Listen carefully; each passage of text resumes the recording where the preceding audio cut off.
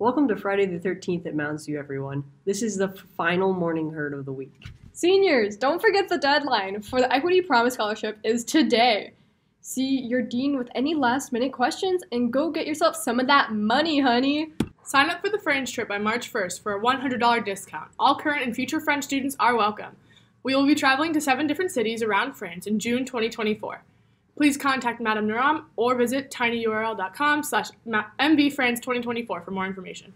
GSA will be kicking off on January 18th at 3:30 in the Forum. Whether you are part of the LGBTQ community or an ally, come down for a warm cup of hot chocolate, amazing new friends, and to learn more about what we have in store for the rest of the school year.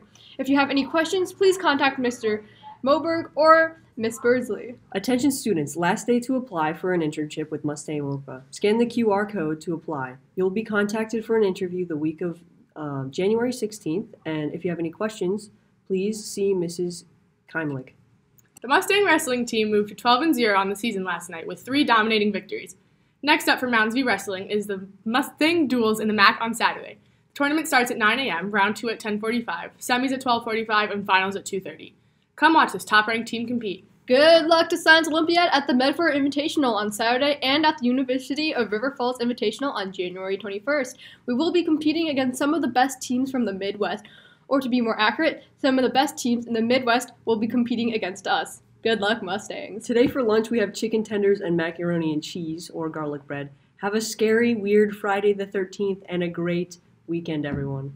Now for the joke of the day. If January threw a parade, would February march? No, but April May? I mean, yeah. Happy Friday! Happy Friday!